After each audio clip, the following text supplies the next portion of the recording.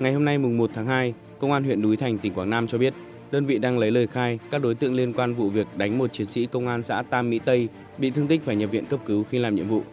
Trước đó vào khoảng 12 giờ ngày 30 tháng 1, Công an xã Tam Mỹ Tây, huyện Núi Thành nhận được tin báo có một nhóm đối tượng tổ chức đánh bạc dưới hình thức bầu cua tại thôn Trung Chánh. Ngay khi tiếp nhận, Công an xã đã cử Trung úy Ngô Xuân Thành và một công an viên đến xác minh. Khi tới địa điểm trên, Trung úy Thành yêu cầu bà con hợp tác làm việc. Một người trong đó gọi Trung úy Thành lại để nói chuyện. Tuy nhiên ngay sau đó nhóm người bất ngờ lao vào hành hung. Bị tấn công bất ngờ, Trung úy Thành rút bình hơi cay ra tự vệ và chạy thoát đến cánh đồng cạnh đó. Theo công an huyện Núi Thành, người dân sau đó yêu cầu Trung úy Thành lên miếu để xin lỗi, nhưng khi lên bờ Trung úy Thành tiếp tục bị đánh. Ngay sau khi vụ việc xảy ra, công an viên đi cùng đã gọi công an huyện Núi Thành tới để giải quyết, đồng thời đưa Trung úy Thành đến bệnh viện cấp cứu. Hậu quả vụ việc khiến Trung úy Thành bị sưng mắt, phù nề vai, đầu gối phải khâu năm mũi, rách nhẹ ở gần bàn chân.